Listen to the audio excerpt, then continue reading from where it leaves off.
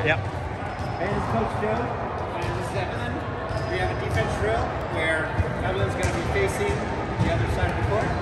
And I say, I say go, she'll turn around and dig a hard ball and two free balls. She's got to go for these